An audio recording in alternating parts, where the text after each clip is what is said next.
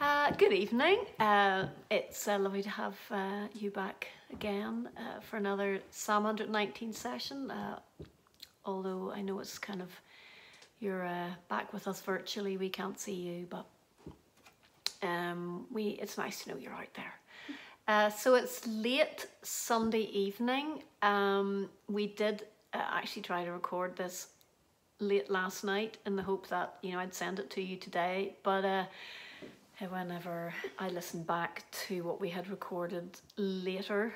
Um, was a little loud. Yeah, yeah, we had some we had some balance issues, so we're uh, we're gonna record it again. So uh, staying in Psalm 119, and these these words tonight. Uh, this is just uh, singing the straight translation um, without any kind of paraphrasing.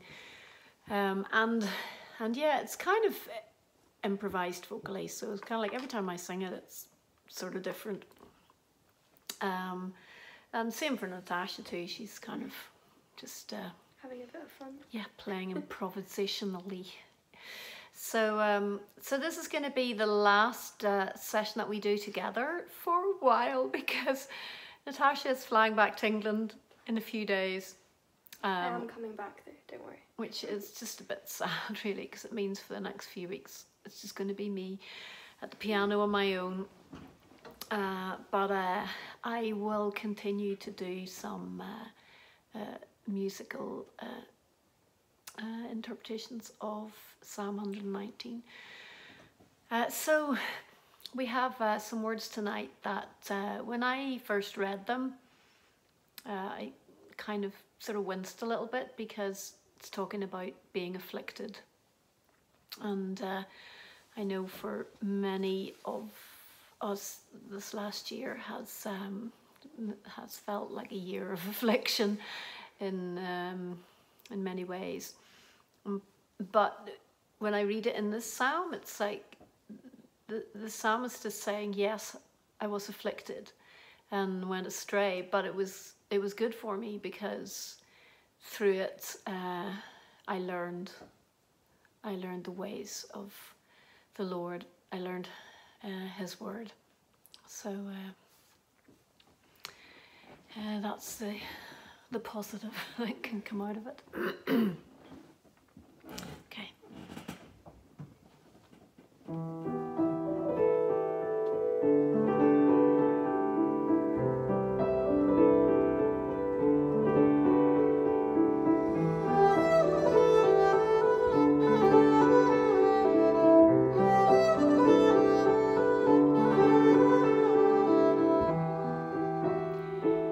teach me good judgment.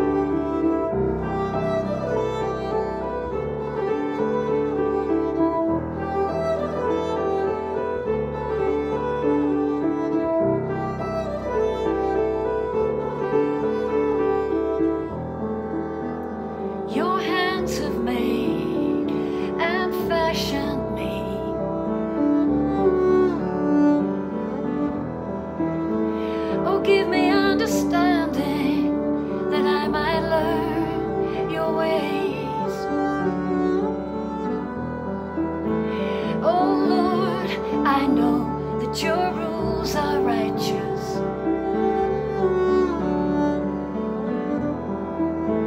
And that in faithfulness you have afflicted me.